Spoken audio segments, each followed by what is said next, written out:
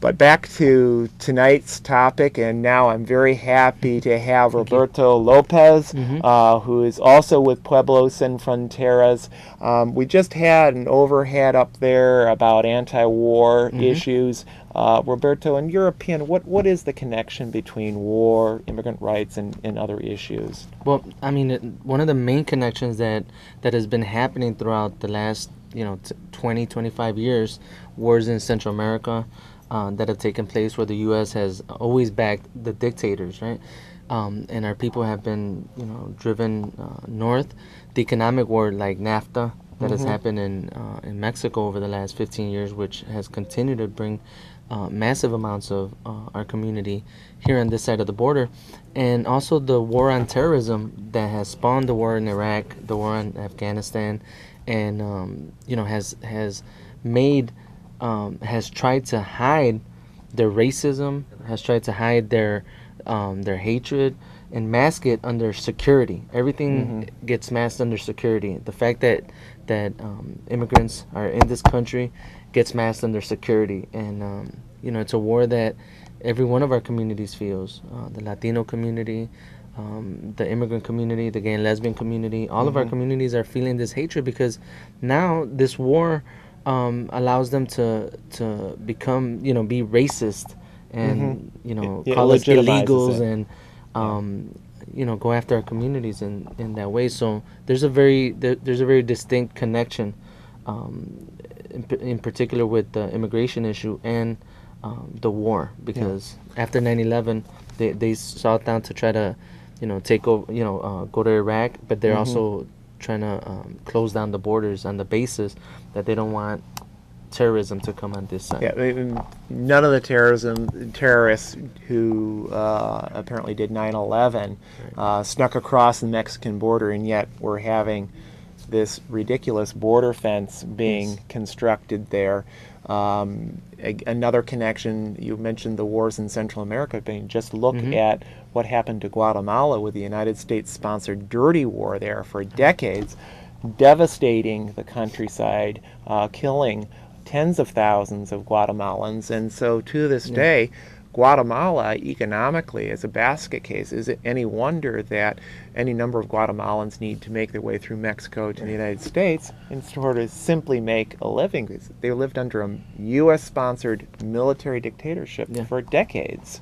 um, and so I, I think you're absolutely right. There is a very direct connection. There is, there is an um. I mean, recently, I guess over over the history of time, in in order for you to squeeze money out and squeeze resources out of any part of the world, you need to um, send your security force, your army, and that's happening right now as we speak. Where Mhm.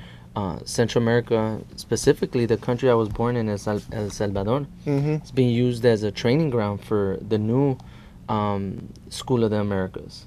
Yeah. And you know, wh- what is it there to protect? It's there to protect uh, CAFTA, NAFTA, and all the different trade agreements that uh, that they're trying to enforce on on our communities. So, for us, you know, we we need to, you know, we call on all of our community to stand up against this war.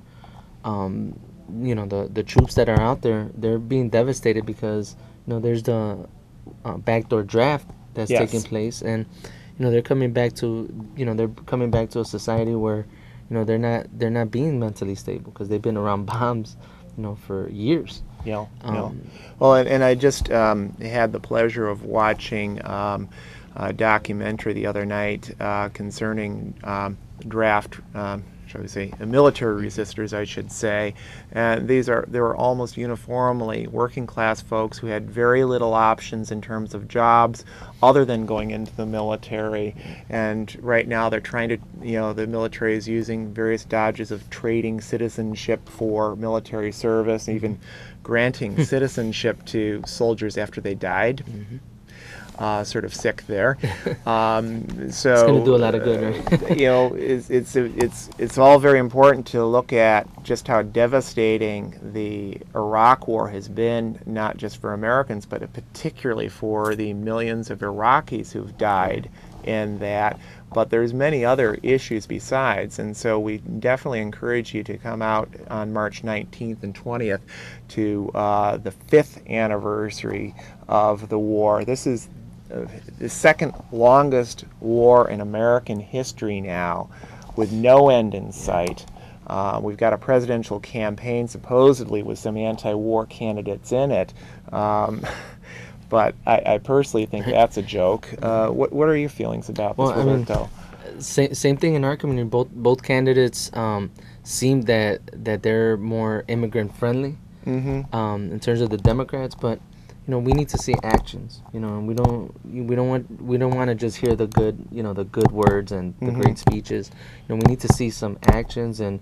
Um, you know that's that's a that's a that's our fight as a community. We're not giving our vote to just anybody this uh, election season. Well, We're gonna and, and let's even look at the words Mm-hmm. because um, we've got Barack Obama using "Yes, we can," "Si se Right. puede," the the anthem, shall we say, of the immigrant rights movement, and yet this is a man who's proposed building the border fence. Mm-hmm. I mean.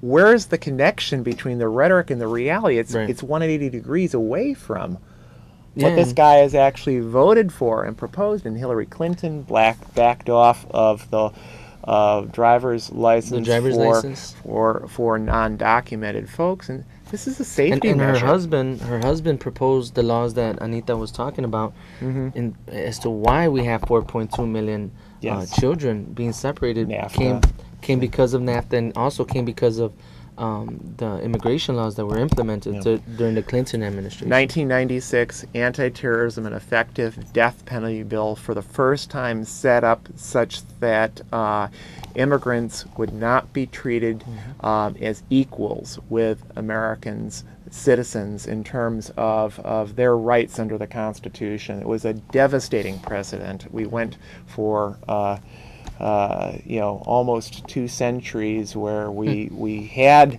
equality under the Constitution, and the 1996 Act effectively Yeah, gutted 96. that. Um, uh, just horrible. Um, just to remind people, uh, you're watching the Gay Liberation Network on CAN TV, and I encourage you to check out our website, www.gayliberation.net. Um, if you'd like to get involved and get, be in touch with uh, Pueblo Sin Fronteras, you should go to their website, which is somosunpueblo.com. Uh, apologize for not having an overhead about that. Again, somosunpueblo.com.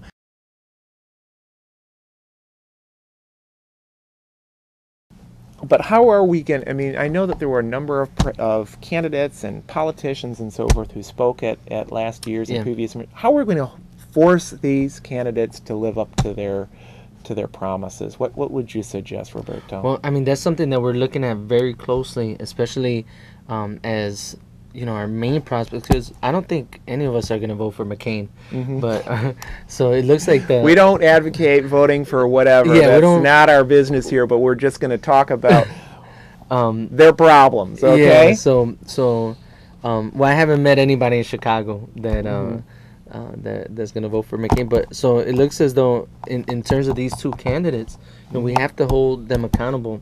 Um, Mm-hmm. As Hillary uses the word vetted, they got to get vetted Yes. the issues that matter to us most. Yeah, and they've been getting a free ride on the issue of immigrant Right. rights in spite of the Latino uh, community very solidly, in many respects, Mm-hmm. supporting Clinton. What has she given in return? Yeah, we can't. we Barack can't Obama, just- si se puede, yes we can. What has he given in return Right. for appropriating the slogan Right. of the immigrant rights movement? I mean, this I find this insulting. hmm Well, I mean, one of that's what, and, and you, the divisions that get caused because of um, um, these elections right now, because Yes. it looks like, you know, the the Latinos are with Hillary and Mhm. um, the African Americans are with um, Barack, and the truth is, is that you know we gotta we gotta come together, and Yeah. um, that's one of the main reasons why uh, we continue to uh, build the bridges, Mhm. and the proposal for this year's May, May Day march is for the African American community, the Latino community, the anti-war community, the gay and Mhm. lesbian community, all the communities to come together. Let's march together. And, Right. Uh, let's put these two to the test. Let's put uh, these three to the test, Right. and uh, let's make them accountable. Because McCain also had um, uh, pro-immigrant bill Yeah. in there, but now he's like. Moved What to the right. pro-immigrant bill? You Yeah, know, they're like, yeah, yeah. you know, he all of a sudden got Alzheimer's, and I thought that that only happened to um, President Reagan. Yeah, yeah, yeah. But, well, uh, I mean, it, and it's a tragedy because they none of these candidates have have delivered to their alleged constituencies, um, and we really need to stack the rhetoric up against the reality.